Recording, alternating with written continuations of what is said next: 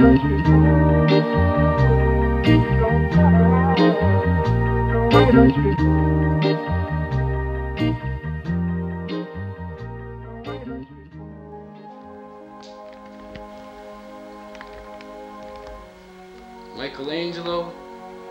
we are going to have a lot of fun.